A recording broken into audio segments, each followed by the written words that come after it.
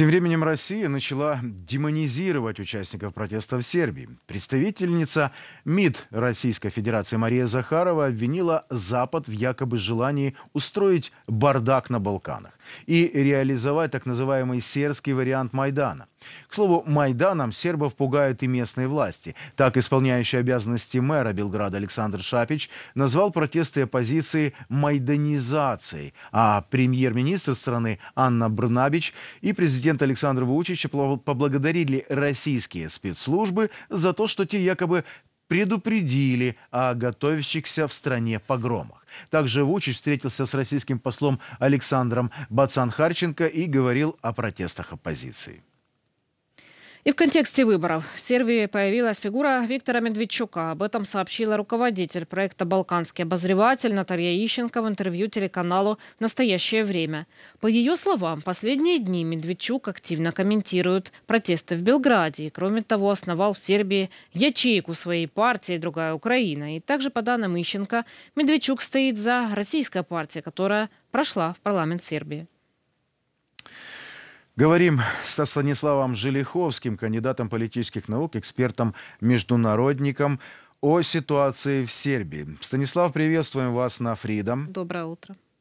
Доброе утро, студия. Э, вот все эти истории с демонизацией Майдана, с помощью спецслужб иностранного государства, очевидно, что России, можно ли провести некие э, параллели с ситуацией э, в Украине в том же 2004 году во время помаранчевой революции?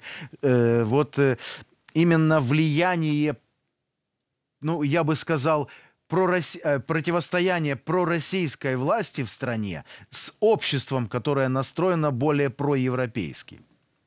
Ну, действительно, протесты в Сербии продолжаются, и участники демонстрации не согласны с результатами парламентских и местных выборов и не хотят их признавать. Э, э, на девятый день акции протеста демонстранты заблокировали э, центр Белграда и потребовали освобождения протестующих, задержанных двумя днями ранее, и несколько сотен протестующих собрались перед зданием суда и прокуратуры в столице Сербии, скандируя лозунг «Выпустите их всех». Также тут стоит упомянуть, что во вторник прошли акции протеста перед э, штаб-квартирой избирательной комиссии э, Сербии, где требовали повторения выборов на всех уровнях. И в ходе протеста было обращено внимание на ухудшение здоровья депутатов, объявивших голодовку. И по данным, по данным сербской оппозиции, Мереника Тепич находится в наихудшем состоянии. Она не может уже самостоятельно встать. И так как она не ест еще с 18 17 э, декабря. Э, и помимо этого акции протеста впервые были организованы э, в Кралево, расположенном в центре страны. Ну, тут действительно имеет место быть то, что власти Сербии они э, обвиняют э, э, протестующих в том, что они организовали акции именно по, под руководством внешних сил, и там действительно нередко сравнивают ситуацию с Майданом. Особенно эта, эта риторика звучит от россиян, и мы должны это понимать, что, конечно же, в Кремле очень сильно обеспокоены этой ситуацией, и так как это и было э, в, э, в Украине, когда происходила, и, как вы правильно э, отметили, и помаранчевая революция, а, оранжевая революция, и э, революция достоинства, конечно же, Кремль видит в акциях протеста э, угрозу своему режиму, и это стоит понимать. И я хочу отметить, что э, те даже демонстрации, которые э, неоднократно происходили э, в России, в частности в Москве и других крупных городах, э, они очень жестко подавлялись, и все из-за того, что Владимир Путин хотел э, сохранить свои позиции и э, править фактично, фактически Российской Федерацией вечно. Также мы, э, э, он болезненно реагирует на другие акции в других странах. Например, э, вспомним ту же самую ситуацию в Беларуси в 2020 году, как были отправлены российские спецназовцы для того, чтобы подавить, помочь подавить режиму Лукашенко те акции, которые происходили тогда мы помним также ситуацию в Казахстане, как раз за э, пару месяцев фактически до э, полномасштабного вторжения, вторжения России в Украину. Ну и также это происходило и э, в ряде других стран, и в Грузии, и в, э, также э, в, в, на Ближнем Востоке, э, когда, э, скажем, российские войска или наемники были замечены в том, что они помогали тем или иным режимом э, помогать сохраниться, ну, чтобы, скажем так, показать, что они э, поддерживают э, э, эти, эти режимы, ну, и чтобы показать своим также гражданам, чтобы они ни, ни, ни в коем случае не э, протестовали против Путина, ну, а выполняли э, э, так те, те, то, что он э, скажем, э, э, им ну, приказывают сделать, например, вторгаться в Украину, и мы видим, что сколько граждан Российской Федерации поддерживают войну и идут на смерть фактически. И это также является элементом Э, подавление Майдана, потому что э, в России часто это транслируют до сих пор, что в, в Украине находится, э, э, скажем, нелегитимный киевский режим, как там называют, и именно э, вот э, под таким вот внушением отправляют на фактически на, э, на убийство своих же граждан, э, э, россиян, которые идут на фронт, и неизвестно за что умирают. Ну и, скажем так, к сожалению, эта ситуация продолжается, и мы видим, что есть присутствие, российских спецслужб на территории Сербии, и уже э, те или иные высокопоставленные лица, но в частности премьер-министр министр э, э, Сербии Анна э, Брнабич отметила, что, что наблюдатели лгут и дестабилизируют страну, а также поблагодарила российские спецслужбы за предоставление о планируемых, за предупреждение о планируемых действиях оппозиции. То же самое сделал и Александр Вучич, президент Сербии. Ну, в общем, такая вот ситуация очень непростая, и очевидно, что она еще будет продолжаться, так как демонстранты не имеют намерения отступать и требуют все-таки, чтобы э, по-новому провести выборы. Но, тем не менее, мы должны понимать, что русский след там есть, и, скорее всего, э, Российская Федерация будет делать все возможное для того, чтобы э, сохранить ту власть, которая есть в стране, и не допустить ее полнейшего разворота в сторону цивилизованного сообщества. Станислав, а почему России так важно удержать Сербию в орбите своего влияния? Ну, мы даже так, тут э, в этом контексте понимать, что Сербия есть такой своеобразной гаванью для э, России, для обхождения тех или иных санкций. Также мы должны э, понимать, что, что на территории Сербии э, можно спокойно развивать э, э, российский бизнес, и там для них есть специальные льготы, э, там э, нет проблем э, с посещением этой страны, в, э, в отличие от э, многих других государств Европы, которые не поддерживают поддерживают политику России, и поэтому мы видим, как э, официально Белград э, не вводит санкции, э, у него довольно-таки мягкая риторика по отношению к России. Ну и это все, конечно же, устраивает Москву, и я думаю, что фактически это тоже своеобразный анклав ее интересов. И, и тут также стоит и понимать, что тут есть интересы в газовом секторе. Через э, Сербию проходит э, э, газопровод из Турции, который, который направляет энергоресурсы, например, в Венгрию, где находится Э, также режим, э, который есть дружественным для России, имеется в виду правительство э, Виктора Орбана. Ну, то есть вот, так, вот в такой вот связке Россия хочет иметь возможность влиять на внутреннеевропейские процессы, и поэтому она будет держаться за Сербию до последнего, и как это делает, собственно говоря, и в тех странах, где она может это сделать. Ну, логический вопрос в продолжении темы, как Евросоюз относится к Сербии. Э, то есть э, Мария Захарова, спикер МИДа российского, сказала, что все, все, это, все это дело устраивает коллективный Запад. Но Сербия э, это как бы не часть Евросоюза, но кандидат на вступление. И вот как внутренние процессы, как на внутренние процессы э, влияет желание Сербии все-таки стать членом Евросоюза?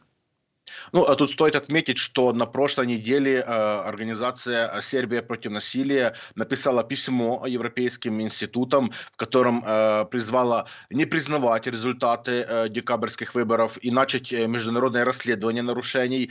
Наблюдатели за, выбором, за выборами, представляющие Европейский Союз и Совет Европы, пришли к выводу, что выборы были несправедливыми, голосованием манипулировали, и этот вопрос и этим, этот вопрос должна расследовать полиция. Ну, то есть, э, если вначале все-таки там старались на Западе более э, аккуратно обходить эту тему и не сильно концентрировать э, внимание на то, что происходит, то теперь уже после тех акций насилия, которые были эм, сделаны правоохранительными э, структурами Сербии. Э, там уже начинают все-таки э, постепенно критиковать э, тот процесс, который происходит, в частности, э, и действия полиции, и э, само голосование, и возможные фальсификации. Э, то есть фактически тут э, э официально Белград постает перед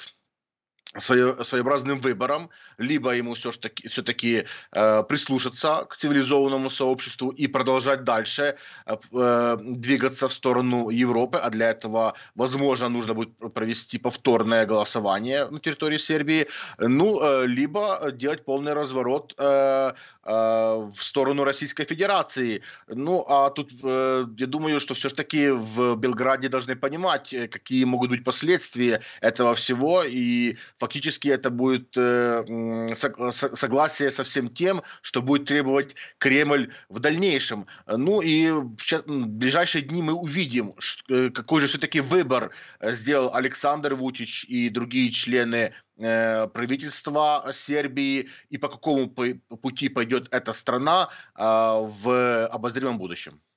А, Станислав, а все-таки какой более выгодный вариант сейчас для Сербии? Что может выбрать Вучич, вот исходя из прагматических каких-то рассуждений? Ну, тут э, смотря э, на то, какие он перед собой ставит цели. Если для Вучича главное только сохранить власть и вот эту вертикаль, которая существовала против, э, на протяжении э, многих лет, конечно же, он может э, выбрать э, э, российский вектор, как это сделал Виктор Орбан, о котором я только что упоминал, как это сделал Александр Лукашенко в Беларуси и тому подобное. Но если все-таки у него есть желание увидеть свою страну европейской и, э, невзирая на какие-то